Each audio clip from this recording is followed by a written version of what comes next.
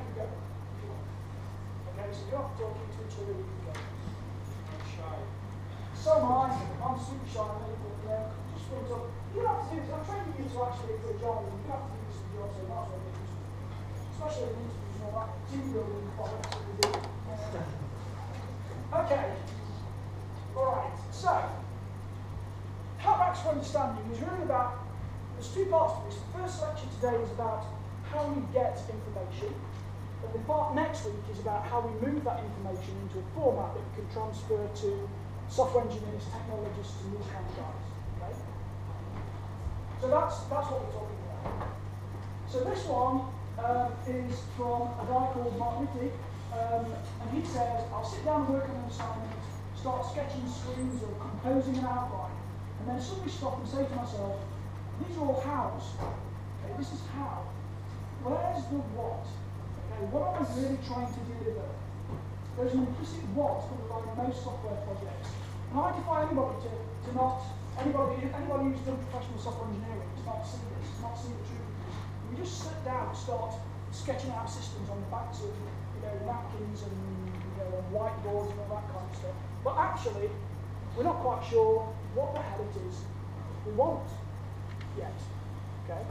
And it's and, and it, it seems like we're very seductive to just go straight into the house because it, it feels like we're making progress. Oh, I'm sketching screens, I'm knocking up a prototype, I'm doing something. Okay, but it seems like progress. And I suppose if you've got a manager saying to you, we need progress, we need to do something, we need to do something, it feels like progress, right? You're coding, you're doing what you have to do, you're designing, you're building and stuff. But actually, you don't know what you're doing, you haven't got the what yet. Okay, so first part of this is how do you get the what's, you know, addressing the what's, and the next next week's first lecture will be about the hows. Okay, so there's a number of frameworks, although there are some frameworks, and there's more than there's more than this, obviously, right? There's far more than this. So there's a number of, of ways to try and get frameworks to get this information. And these are really computer sciencey sort of uh, frameworks that are quite flexible. And so these circular kind of the, the way that this is a circle looks a lot like it would fit into an agile method, or it would be an iterative method, right? But this is how we sort of do it. And this is the awareness, understanding, action. It's by uh, Cato. Okay, and this pretty much says that we know we've got some information, but we need to understand the purpose. We go around this thing, we go, choices, what are the choices? We have an action, and that action allows us to build a system. In this case, we talk about websites, but we can talk about anything we like. And then we have this awareness. What do people think about that? What does it mean? And then we have an understanding about where we've screwed up, okay, or where we've done where we've done well, and then we move back to the purpose again. Eventually, we can spit out this loop and, and come up with an outcome, okay? But oftentimes, we keep iterating this loop, so we go through getting user knowledge and finding if they're satisfied. Getting user knowledge, finding if they're satisfied. And this is what we're pretty much trying to teach in this course. Get user knowledge, find out if they're satisfied. Okay? It's not necessarily about whether you're satisfied, about whether they're satisfied. Okay? That's the whole point of it. Now, who thinks everything I'm saying is really just obvious? Come on. You must some of you must think it's obvious. Surely. Okay, so it is obvious, it's kind of obvious. But the other thing you need to know is that we get this wrong all the damn time. Okay, so it's very obvious, but we get it wrong. Right, in more cases than we don't, we get it right. So that's why I'm impressing this on you. It's very simple. If you, if you think nothing else, get the knowledge, find out if you're satisfied. Get the knowledge, find out if you're satisfied. Keep moving it, okay, into developed systems. Yes. So what, what is the problem with this? Why people? Because they'd rather go, well, firstly, we can see this, a, there's a bit at the end which is about this in the real world, okay? So there's, there's reasons why they don't do it correctly. One of the reasons is a thing called, that we call predetermined outcome. In a project, you've got managers, they, they, who's seen Gantt charts and PERT charts and all this kind of stuff where we've got this kind of Gantt charts of, of how the system's going to work. So can think of that, yeah, okay. That doesn't look very much like, like Agile to me. It just looks like this long, long string of stuff, right? And so when you've got a project manager, that project manager's planned out how this project is going to go in a Gantt chart, a flip chart, very linear, a lot like the waterfall. But we know that that means there's no room to iterate. Okay, very. So the reason why we get it wrong is because in a lot of occasions there's a predetermined outcome. They, they don't even think about user testing or asking users. They just want to get straight into the technology. And at the end, they want you to act as a piece of, a piece of experimental work or an evaluation such that you prove that they're right. It's a predetermined outcome. That's what they want. And that's what's built into the plan. Okay? So that's why it fails, because there's nothing about asking users at the start to what you do. And at the end, they expect users to like it, because that's what it says on the Gantt chart. And you can't overrun the Gantt chart. Okay? So if you overrun the Gantt chart, you lose money, and then everything's gone. Okay? So you must finish at the Gantt chart. Now, there's seven of these different outcomes that we'll get to later on in the course. Okay? But but that's one of the reasons that there's the, in the real world, nobody cares about this. All they care about, if, you, if you're very lucky and you're a user experience person, you'll be consulted to start with. You'll have the ability to do this user knowledge stuff. But the vast majority of times, they just want you to go in and confirm that they're wrong. Okay? The only input you're going to get is bad place, and you'll know that it's a bad place by this, is that you're brought in at the end. To say, oh, if evaluate it with the implied assumption that it's going to be okay. That's it. So I think you can actually you can actually decide how good your company is or how much seriously take, they're taking this at least by whether you're brought in at the start or not. If not, expect they, they're expecting you to just look around and say due diligence, has to be performed. Okay, that's what they're expecting. Okay. We also have this other, other subloop which uh, Cato talks about, which is this, which is really this discover, then we design it, then we put it into use, and then we discover more from the use, and we change the design and put it into use again. Again, agile, okay, it's this agile, of this agile circle. So it's like agile for user experience in a lot of ways, okay? So that's what I'm trying to get across in this. Okay, you've got this sub bit as well, where you've got the explore. You know, what are the objectives what, what objectives do we have? Explore those objectives.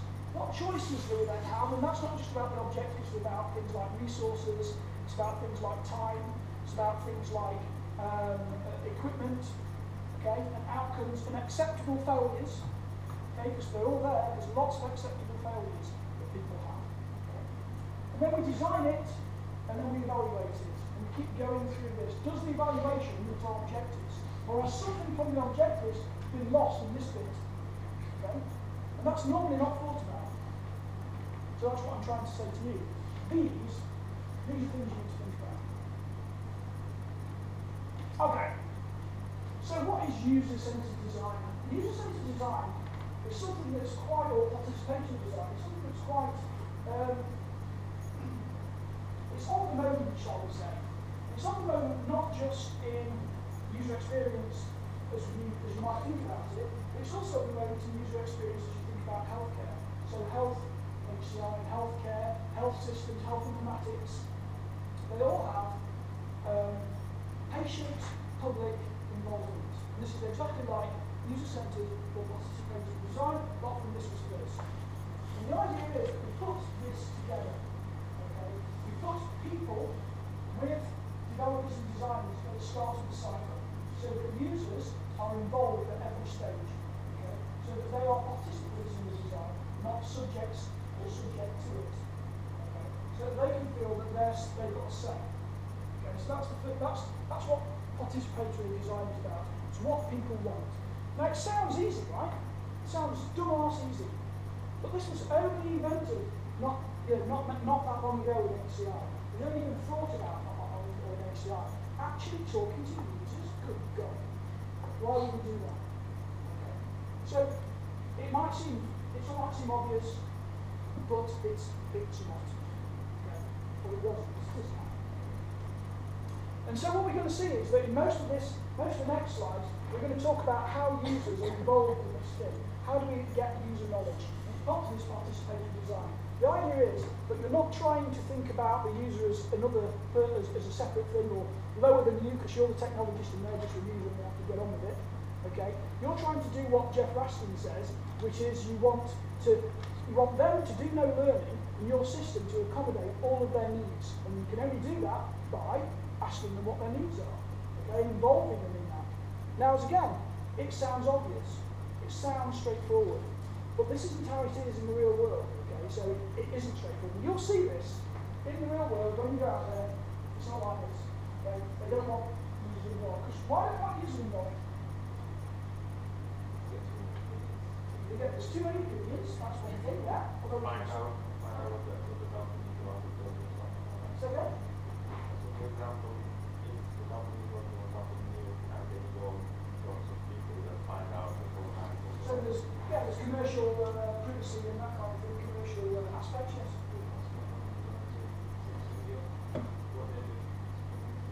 it costs money. It costs money to do this.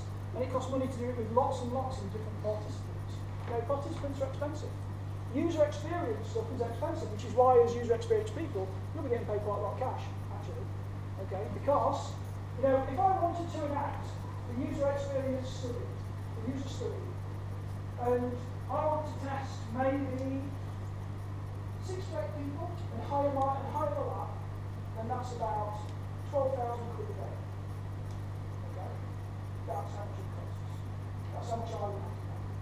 If, if I was uh, if I was just sitting there, if I was a, a uh, commercial organisation. So even for our little user experience lab, you know, we're charging, and we, we don't, we're trying, we try to make not a profit on that. We don't, uh, we don't get participants, and we don't do anything else. We just rent out the lab part. No, no, no other bits and pieces. You know, we're charging two to three thousand a day. for That. Okay, because expensive equipment and expensive, uh, an expensive knowledge of how to use equipment. So it's, it, you know, it costs money. And some people don't want to do this. They want to, they, want to know, they want to. Yes.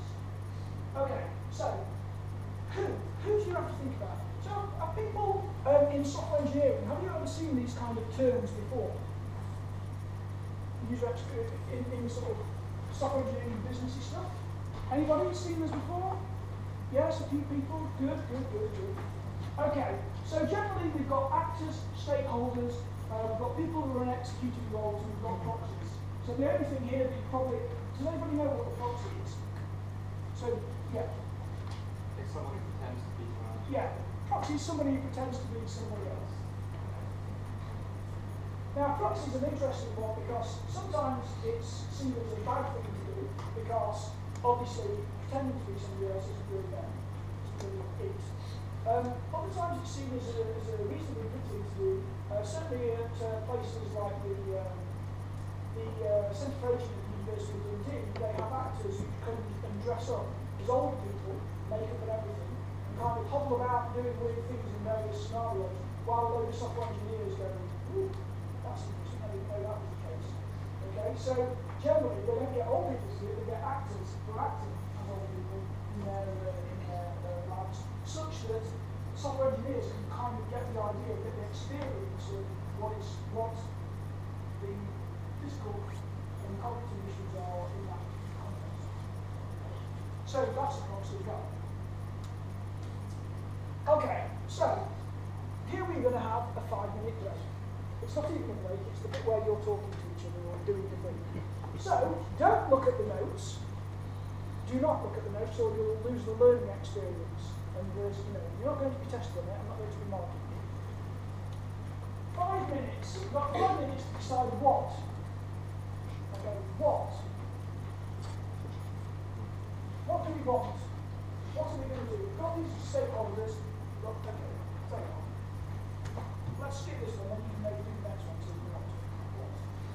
So what. Is it that we want?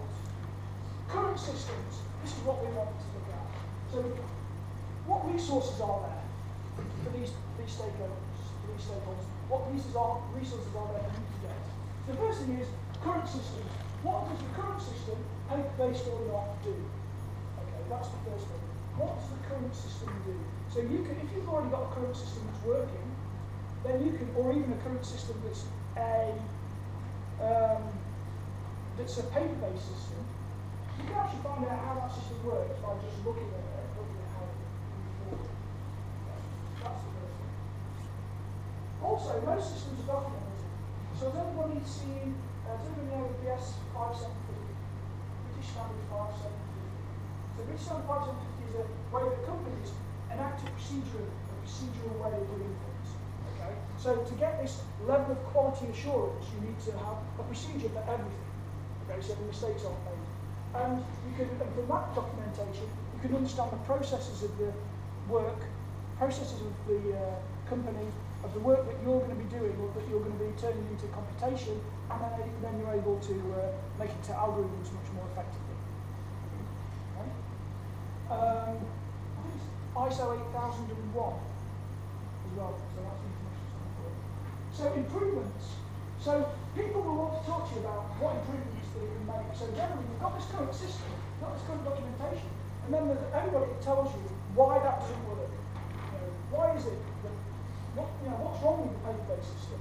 What's wrong with the current documentation? Okay, why isn't why is the procedure wrong? Why doesn't it work properly? And that's the improvements that Okay, that's the what part. Near this, you've got subtractions here. This, subtractions, these subtractions are important. Oftentimes in lots of systems, there's things that were added that now right. Okay? Or there's different um, different regulatory frameworks which might not be necessary anymore but haven't been changed. Okay? You'll see this a lot in systems. Safety systems, they're very worried about making change. Okay? So in flight, so the reason why you can't use your mobile phone in flight isn't because there's anything really going to happen with regard to your mobile phone uh, and these features it might or might not have.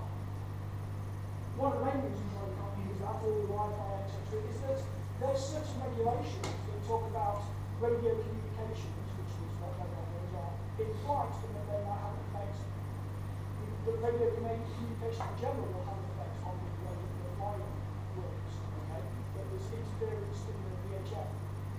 So that's a critical system. It's, taken about 10 years or more for people to, to realise actually this is okay, we can, we can stop this off from the process. We can, you know, we can put Wi-Fi in these, uh, it's not going to be a problem. Okay. But they're very reticent to subtract this stuff. And then we've got importance. So, anybody heard of MoSCoW? The MoSCoW method? One, two, three, yeah, few people, okay. Good. So this kind of importance, MoSCoW works well with this. So what's important? What's not important? What do we want to do? What don't we want to do? We'll get to MoSCoW in a bit anyway. Okay. But you know, how does this work? So what is useful and what isn't useful? What needs speed? What's important? You've got a schedule that you need to enact. Okay, there's always a schedule. So you've got to order things into priorities. Okay, how? How should this be done? So this is your next five minutes, right? And this is one thing I do. How do we collect this information? Okay, so that's the first, so that's the next one. How do we collect the information? In groups, or if you're a singleton on your own, because you hate everybody and you're all bastards, then you can do it on your own, like the easiest to able to do. And You're looking at how, you're more doing. well, you can. Of course you can. There's new techniques of how you get information. So, on first, so if you want to spend five minutes till 32, then we can, then I'll, we'll come back and we'll have chat.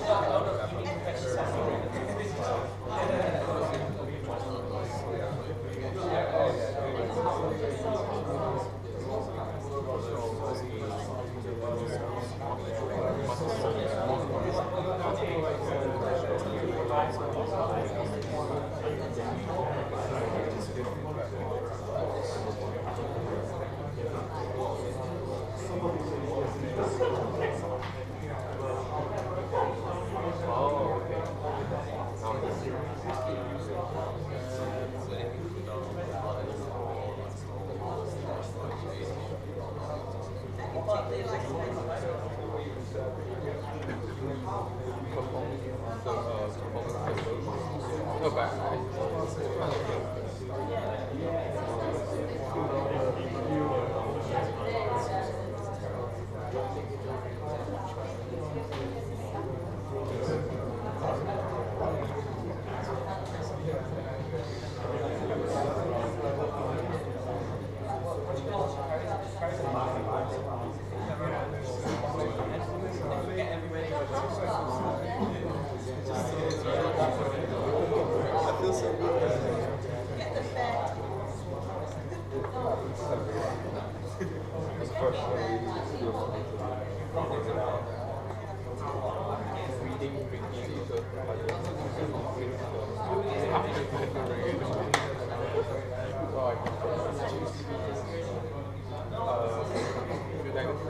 We are the. So like let's say I can read the review of some other mobile phone, uh, see what yeah, yeah, kind of. Pacific. Pacific.